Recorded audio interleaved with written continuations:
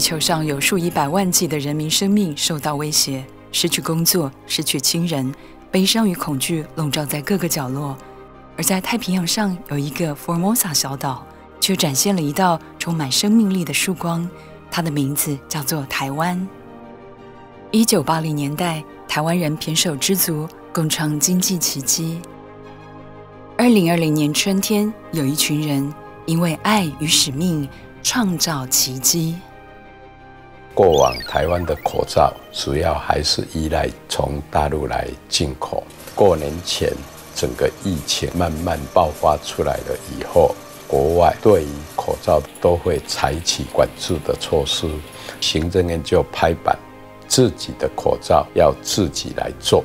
院里面在一月二十四号也下令，我们的口罩要禁止出口。那同时也指示经济部要设法每一天要产出一千万片的口罩来安定民心。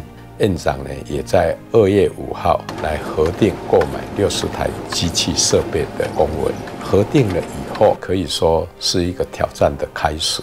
疫情还没起来的时候，其实国内产量只有一百八十八万片，甚至。真的三班全部机台都稳定的去生产，是可以到四百万片。可是国人有两千三百万人，其实远远不足。那怎么办呢？除了这个现有的机台之外，我们还再去买新的机台，非常非常密集的跟这些口罩的厂商来取得联系，请他们来做加班。上次 SARS 的疫情，口罩的采购，因为政府采购法。导致国内口罩价格在采购的政策上没办法获得，导致国内的口罩生产厂商在经营上面临了相当的困境。那这个部分，政府一定要用所谓的屯兵政策，这一次由政府来采购，交给口罩的生产厂商呢？他就是要无偿提供一百二十万片口罩，一片二点五块，刚好就是三百万的价值。这一个疫情结束以后，以国内市场来扶持我们口罩生产厂商，让这些业者有业务量，有业务量，他们才能够善用我们交付给他的这些设备，才能够把这些设备维护好。政府采购就要很多。法令的规定，那同时呢，厂商要去备料，每一台的定金就要先付一半。那六十台，每一台要付一百五十万，这就需要九千万的现金。那院长、副院长就跟我们说，没关系，这个在疫情这么紧迫的时候，要人给人，要钱给钱，这是政策指示。可是真的要去协调，就要很多的行政去协调，才能够把这件事情在行政上能够以专业的方式来完成这样的任务。啊再加上找到这个传染病防治法，讨论出这个能够符合非常时期采购的程序。我们当然也有参考过去的一些市价，可是，在紧急采购以及呢数量供给跟需求差异的时候，它的价格当然会比以往高一点。把这个价格就签到公文里头，那这样子大家都能够因为经过这样的程序同意这样的一个金额，我想这样在未来审计或者监察来询问的时候，其实对我们来讲，其实也有一些白纸黑字的一个保障。二月四号接到指令，我们在当天早上需要到经济部去开会。这个会议其实主轴很很明确，就是部长交代的，因为要发展口罩机的这件事情。邀请我们三个法人，这三个法人一个是工研院、精工中心，还有我精呃精密机械发展中心。院长的这个政策指示是数量最大化为原则，在全和我们是最后经过这些讨论之后，是跟他购买二十台，那长虹是跟他买四十台。部长就指示说，我们这三个法人要跳下来协助，让这一些厂商安心的去生产，然后把。这个呃装机跟调机的这件事情，就由法人来进行。一开始我们就跟部长讲，这是不可能的事情啊，因为固定每个人的作息是固定的，做多少事也是固定的。跟我们谈论超音波的这个数量的时候，我们也是很头痛，因为实在是赶不出来。如果只有我们同仁在做的话，其实这个设备在这么短时间要能够顺利的出去，其实真的是不大可能啊。在这个任务。好像没有说负的空间，因为这个任务必须要做，而且一定要做。一月三十号是过完年的第一天上，我接到工业局杨副局长的电话，他在关心说这个新冠肺炎的我们产业的受影响的状况。杨副局长跟我随口提一下说，哦，他们这这两天都在忙着口罩的事情。我说，如果有图的话，我们三个礼拜应该可以造得出来。二零二零年二月六日，TMBA 名誉理事长严瑞雄及现任理事长许文宪不约而同地向沈部长表达愿意以民间力量协助政府建构口罩机械生产线，迅速成立口罩设备国家队，成立 TMBA 口罩设备产能推进小组，即刻展开救援，产官研一同为国人健康而携手挺进。严董比较像参谋总长。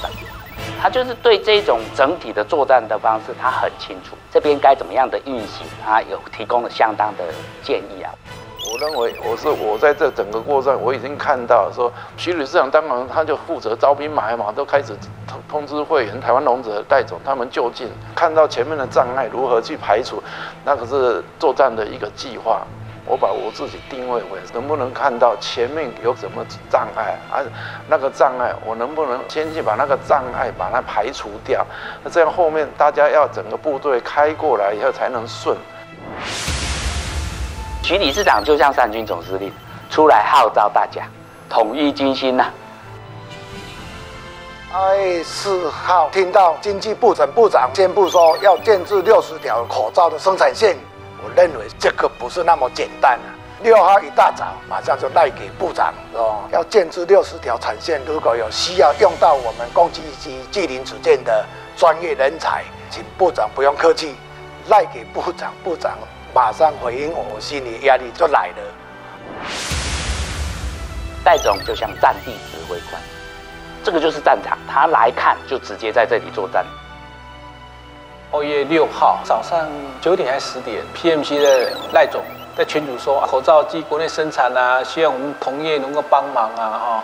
那我马上就私底下就赖赖总说，OK，我可以啊，哈，可以，我可以帮忙。后来他一下子电话打过来的，赖总想讲讲说，哎，等一下，戴总，现在部长有话跟你讲。部长来了，戴总，这个这个国家有难哦，哦，这个你要帮我，也帮国家。啊。海威金博董事长，他比较像联勤总司令，他是在后备的电控的问题呀，送回来给他，他把它做好就是送起来。事实上，工具机这个产业的呃产业性质和口罩机这个产业是截然不同的一个产业。那么呃，所以当时我有考虑到工具机要如何去参与这个事情，我跟几位常务理事共同研讨一下，要如何把整个制程做做分解。那另外，整个电控系统应该是计划的成败的相当核心的一个角色。电控的部分会耗很多时间。那如果电控这一部分没有呃顺利完成的话，也会拖延到整个计划的执行。那艾威正好是在这一方面是比较擅长。那所以我们也有也就呃自告奋勇，提议由艾威来承担这一部分的一个任务。那我比较像是联络官，我也比较清楚整个联系上的日务了。他们也有跟部长有一些联系，我就希望有这些的支持，我就赶快我思考了一下，然后我就我就卖出去给部长的幕僚跟次长的幕僚，很快他们两个幕僚都给我讯息了。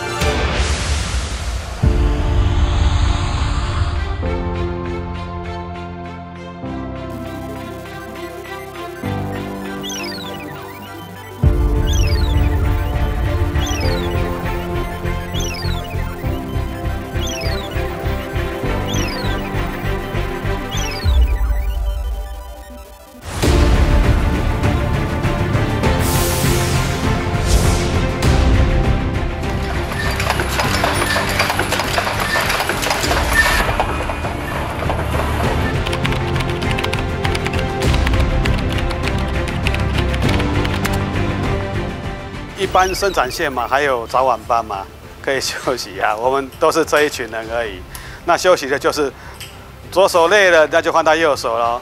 右手工作的时候，你左手休息一下哦。当然只能这样子安慰自己啦。对，但是这样真的有休息到吗？其实是没有了。这一次确实是全国总动员啊，不是只有我这边努力，而我们所认识的一些口罩制造商，他的付出努力比我们更大，一定会让国人有足够的口罩，所以一定能够达到目标。为了国人。的健康，我们是使命必达。我看到我们同仁，看到我们的啊整个工具机这个团队所投入的这种心情啊，它跟终端客户所链接的这种情谊啊，是非常微妙、非常深刻。这也是我们从事工具机二三十年，我所没有看到的这样的氛围、这样的感觉。刚开始人力进入的时候，透过整合沟通，把所有的事情按部就班的分配下去，尽我的全力，让我的团队设备赶快陆续都能够上工，让所有的国民都能够拿到目前最欠缺的口罩。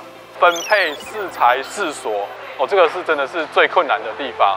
这个口罩的生产线，我们一定要赶快迅速的把它建立起来，用我们在工具机里面的一些技能来做口罩机上面，真的是很有荣幸，蛮光荣的啦。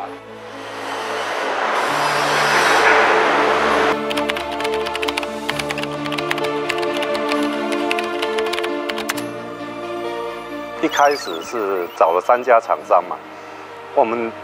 这一家厂商是本来是只有二十条线，那经过部长跟工业局的官员去口罩厂访查，发现说在客户的市占率长虹比较多，所以说部长就把另一家的单，他直接加到长虹身上。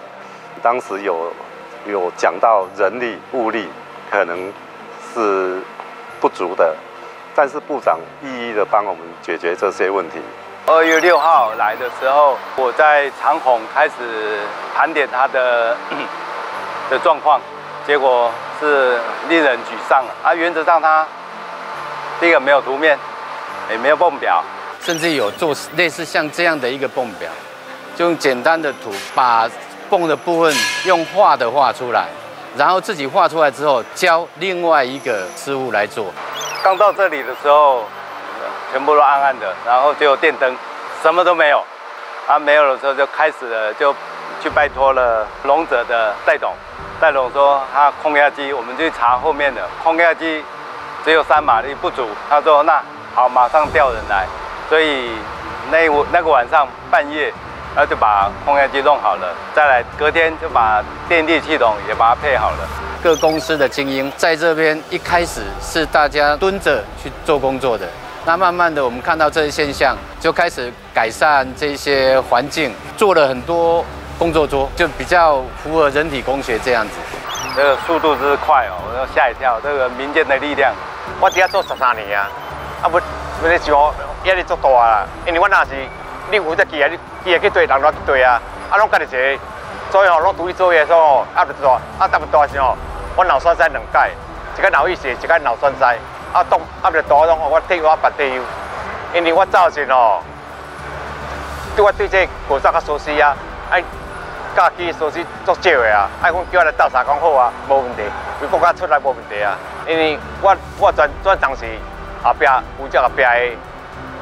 架机嘛，啊，所以我拢教安那架机，吼，安那安那调，吼，用以我经验拢甲伊教，所以我大家拢熟悉啊，按大家都有机的，拢有伊的基础，啊，所以较早哦，我我以我年纪来讲哦，拢无啥讲我我是做我手，但是我我手只袂歹，我手只有出段，大家加油。虽然我是伫遮做一年尔，但是长虹的吕董啊，连续十年拢这每个拢叫我来。食买个就对了吼，所以这个我甲伊的感情是算算足好个安尼啦。伊即届会叫我等马上等来叫我来斗三工，所以我义不容辞的一声就答应啊，讲诶，我会来甲伊斗三工安尼。伊我即来做要一个月安尼吼，这个少年诶，真正是。食骨力啦，大家拢食骨力安尼，啊嘛较较会甲老伙仔安尼讲话。其实我甲阮囝阁无遮有做话通阁讲啊，哎，真正这少年的吼，迄大家拢开讲安尼讲笑安尼，我实在做甲有影足欢喜的，所以诶感觉愈做煞愈愈愈无想要讲退掉。我。在厂上班过，然后也在口罩工厂上班过，然后我有这方面的专业知识，想要对国家尽份心力。我跟我老板报备说，我想为国家尽份心力，然后可能下班或者是假日去帮忙。那我当然我不影响公司的工作为前提之下去帮忙。那老板也很乐意说这是件好事，那我当然支持你去去支援，没问题的。光食衣住行这件事，我设计了很多的表格，希望能够方便他们去执行。请人家送便当，真的是一件很困难的事。我有先去找，也问了好多家，seven 好远，那边也没有网路，什么都没有。跟他说，你那个都只有七十块，如果开到一百块，你愿不愿意帮我送？那他同意了。我们有发现。他们之前都不是穿制服，很难辨识这是哪一家公司。那我们的同仁比较不好去指挥，在那个规范里面，希望每一家都穿自己的制服，我们也比较好辨识。大家互动的时候可以互相认识，会更快。可能因为太忙了，所以也没有人有时间去打扫。那我就会利用下班的前十五分钟，那带领我们 Hi Win 的同仁一起去整理厕所的环境。因为我本身就有洁癖，我觉得说，如果可以把良好的那个工作环境和那个厕所的环境提供给同仁，那大家在工作的时候也都会保持着愉快的心情，那做出来的机台才会是最棒的。我们也协助工会去找这附近的几家的饭店，让他们能够安心住下来。希望每个老板都帮资源的人员。保一个团体意外险，我们给员工多一个保障。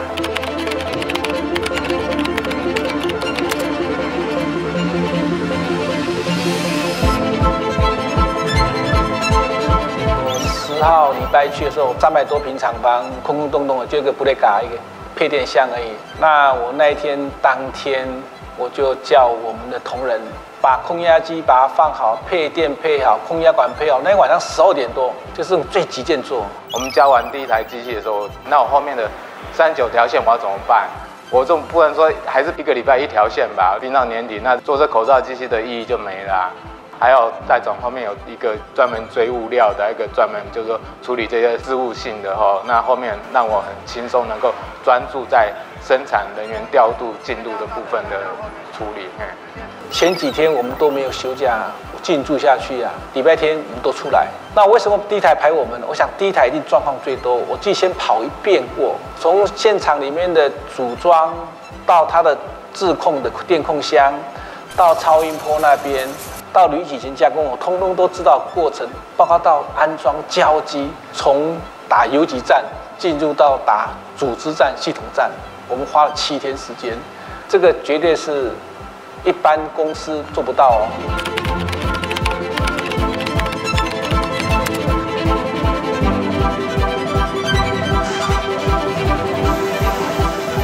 龙总是负责整个制程的工作安排、人员的出勤管理、整个这边生产的制度的建立。我们来了将近一百个人，如果没有安排就没有效力啊。交机的人员跟那个。调机的人员毕竟是两批人嘛，我们培养的种子人员更多的话，后面工作进行才会更顺利。那他们用组织的方式，用团体战的方式，来统筹所有的工作。我认为很重要的是建立战场这一块，特别荣泽在第一个礼拜表现的那个能量，让第一台设备在那一周的礼拜天出第一台出去以后，那隔天就要展成一个很好的一个系统组织战。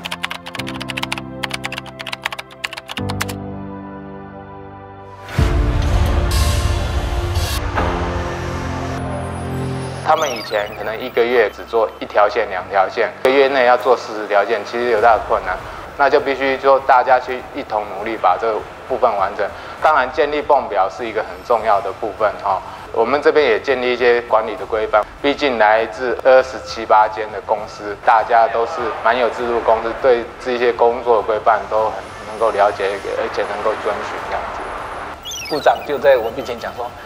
啊，那边是几刚开四台啦，那走着到现场去，他里面那张师傅啊，啊，就跑过欺负我，跟我讲说，几刚四台出两名还在我哈。那部长跟我们讲的时候也是这样的，一天没有四台啊，你如果这疫情严重会出人命的，在适当的时间，那部长出来给压力这很重要。我就跟戴总有讨论这些，我们是不是他们每一站在认的时候，的进度都要公告。我们没有讲说这是哪一家哪一家，但只是讲每一站每一站今天有没有达成。我希望增加一点较劲的感觉，就看到哎，他们完成了，而且突破进度了。更可贵的，真的是大家目标一致，互相体会、互相体谅，有不少的沟通协调啊，走一步算一步，再调整，走一步再调整。这个过程中，我我们学到不少事情，这个就是我们的收获。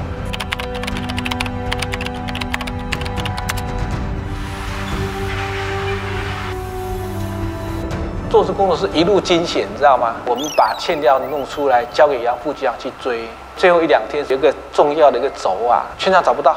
他那个零件制成很长，如果被丢掉就完蛋了。那我就找杨副局长，因为经济部是老板嘛，经济部该下单，我们是帮忙的。杨副局长做事很技巧呢。再回来我赶紧跟你确认掉，哎，这那看几的，就第二天老板说吹丢啊，得刷夸山下的哪个角落找到那那东西。大家赶时间、抢时间，那种感觉就好像在救难，所以我把他们取名叫救难英雄。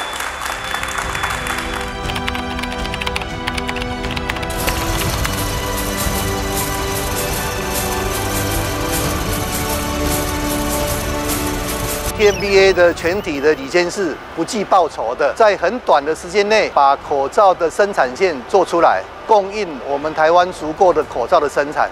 业界各公司工厂派出精英来加入组装口罩机的行列，在仓促成军之下，啊，就运用各公司自己本身对设计、装配各方面的技术层次，整合成一个合作无间、同心协力的团队。工具机机体组件，这是非常团结的。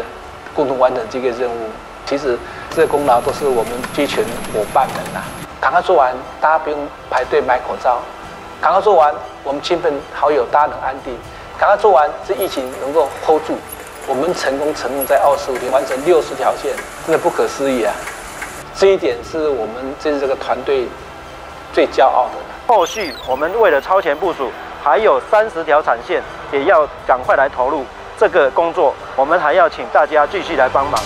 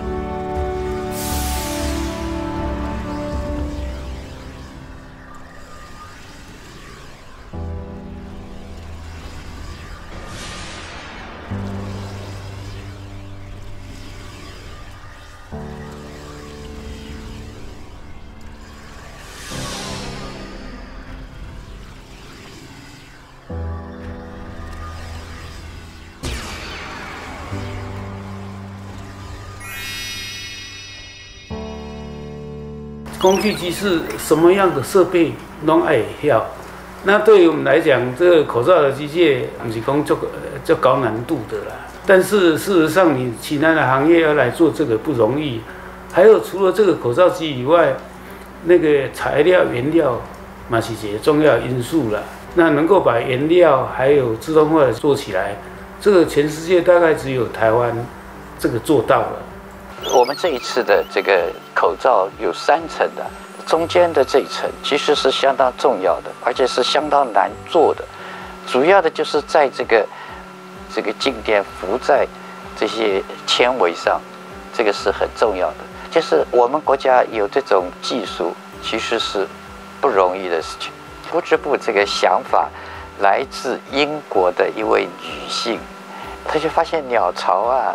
那那些树枝是乱的，可是树枝是很很很密的，呃，这个蛋不会掉下去，呃，所以他就奇怪，哎，这个那布可不可以这样做出来？呃，结果发现，就这种布是有它的特性的，那可以想象出来，它是会的很密。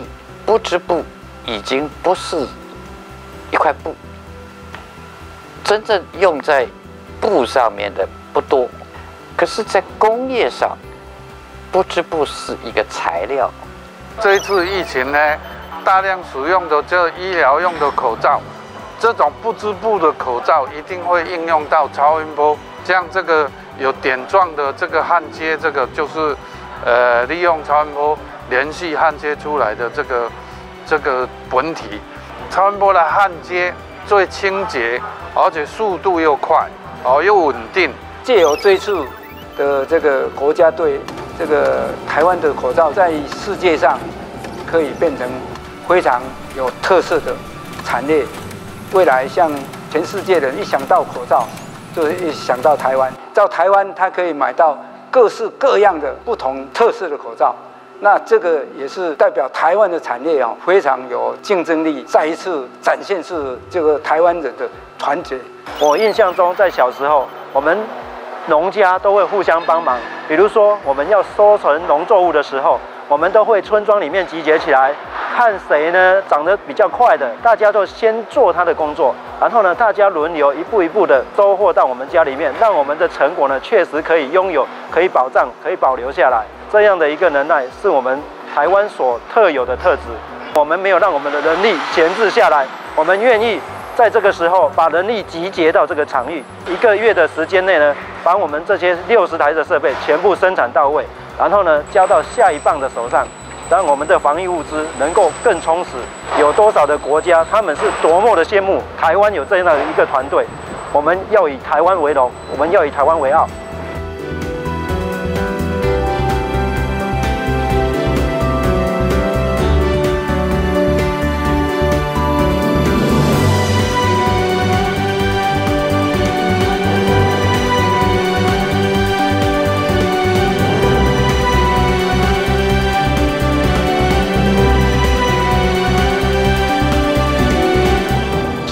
院长、副院长还有秘书长的各项决策，在这个疫情开始之前，就希望能够做更多的准备。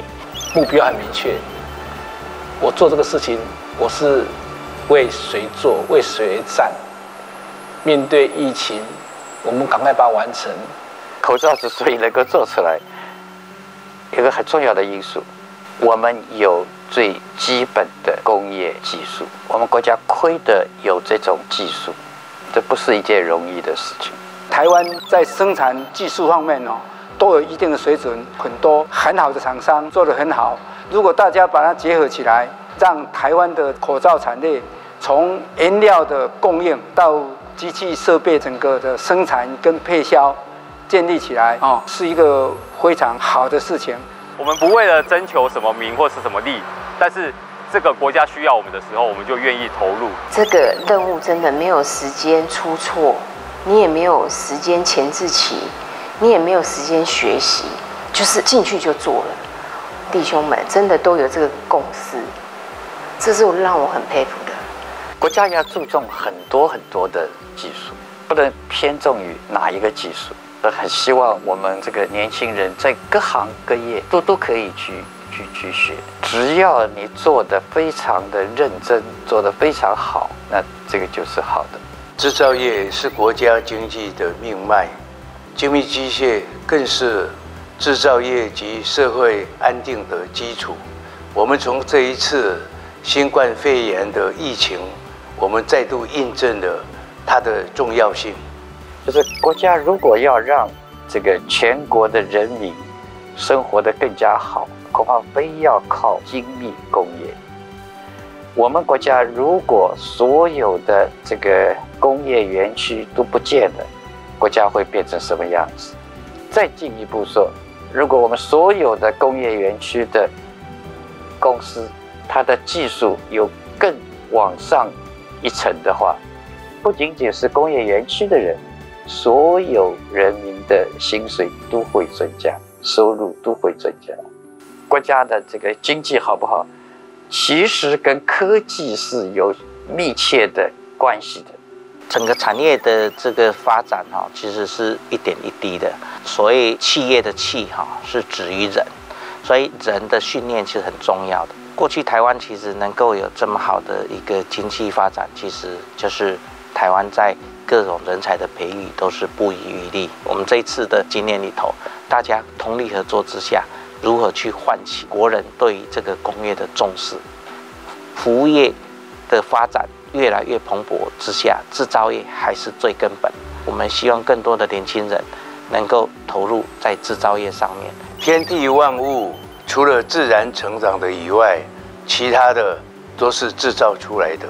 要制造就需要机械工业，工具机呢是制造机械的机械，所以我们叫它叫 machine tool。它在各个领域呢都会长期大量的在使用。我们从农作植物非常有名的荷兰就可以看出来，现在很多温室的种植里面呢，大量用了线性滑轨做操控，这个是精密机械里面最重要的关键零组件。即使在农业的成长上，还是大量在使用这件事呢？可以看到国计民生都脱离不了精密机械这一个领域的贡献。台湾要长期的发展，我们对精密机械就必须要投以长期的关注。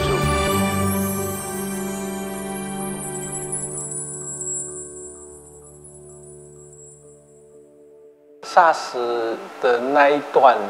一个应该讲惨痛经验吧，哈！我是在长庚的负压病房被隔离过，我也从鬼门关走回来的人呐，哈！那时候在那里面都是 SARS 重症病患，那就是开始打抗生素了，那打起很难过呢，都会吐，吃不下，非常难过哦。前面几天非常难过，当隔壁的人护士走路的脚步声很急躁。在喊快快快快的时候，你听得很清楚，将近八九天都是震撼教育，你知道吗？每天你都睡不着。那我最痛苦就是打针，你知道吗？那个他要打哈，插不到血管，你知道吗？他一紧张，他是一呼吸急促，那雾玻璃都雾，你知道吗？一直插插没到，后来我都插脚，你知道吗？脚啊，脚血管比较大，插子，人一生病什么尊严都没有。我觉得。没有经历过的人不知道那种不安跟恐慌。如果说我们可以把口罩赶快做出来，我很愿意用我的专长来做这件事情。龙泽科技、丰台经济、东杰科技、哈博、海威科技、上银科技、大宇光系统、台湾影星、永进机械、神泰机械、亚威机电。富山精密、决议机械、三丰机器、PMC、金属中心、光明业、东北、云奇精英、高明军机、天空、九江地开、平常我们照顾产业界，到了真的有需要的时候，产业界一条心的来支持政府，我们再度的感谢我们。工具机的业者来支持政府，希望政府未来呢，可以跟工具机工会还有相关的产业能够有更深厚的合作。未来如果有类似的事件，希望工具机工会可以再度给全国人民最强大的支持。这次的事件呈现了我们工具机，或是你要说机械业，呃，最大的特性，也就是我们是非常灵活、非常有活力、非常团结、非常合作的一个产业。做这件事情可以帮助台湾，可以稳定民心，所以同仁其实士气非常高昂。那最重要，后面大家可以互相帮助合作。其实可以发现，机械人。非常重要的几个特性，包括憨厚、认真，还有一个是团结。所以在我们整个工作现场，如果没有看到工作的制服，其实你会发现好像是一家公司。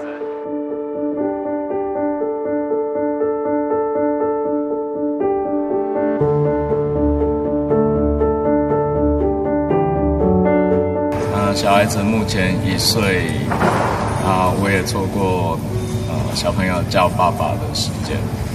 能够为国家，呃，付出自己的心力，我觉得这是很很很光荣的事情。困难是加加减减拢是有啦，啊，但是都是想办法去甲伊处理哦，尽量会当上紧的速度去甲完成。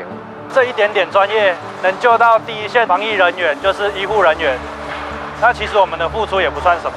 一起完成一件就是这么有有意义的任务。其实是一个蛮新奇的经验。因为这是为国家做事情，我觉得说这是很光荣的事情。